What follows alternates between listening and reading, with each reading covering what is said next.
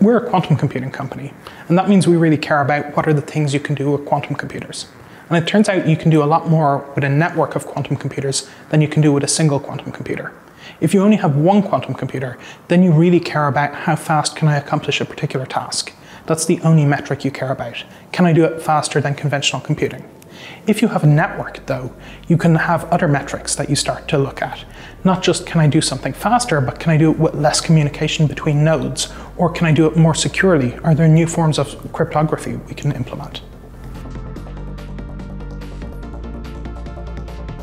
So we've agreed to work with NUS in three key areas. The first is we've agreed to participate in a Singaporean quantum network. We'll actually host quantum hardware here in the office where we can connect to other nodes on that network and send quantum states.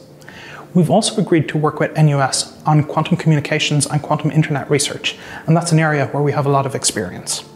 The final area we've agreed to work with them is on outreach, so that we can talk more with the public and let them learn more about quantum computing and quantum internet.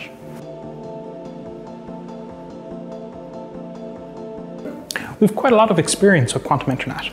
Dr. Si-Hui Tan, our chief scientist, is an expert in quantum optics. That's the technology that really enables quantum communication and will enable a future quantum internet. She's also been involved in the development and implementation of a range of applications for such networks. For my own part, I've been involved in the development of a wide range of protocols that can run over quantum communications networks, in particular in relation to secure computing.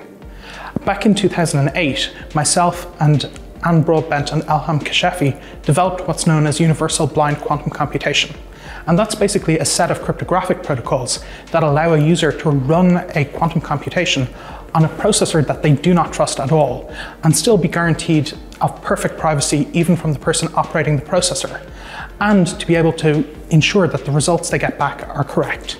That's been identified as a key application of a future quantum internet. At Horizon, we want to be the place you come to code, compile, and deploy your quantum applications. And what that means is we both want to be the place where you write your software and compile it to run on a variety of hardware, but we also want you to be able to deploy it and to deploy it securely.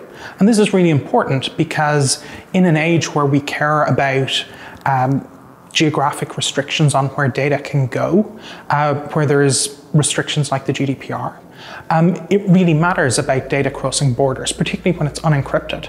And for that, secure computing is critical, both to ensure the privacy of your data and to ensure the correctness of the outcome.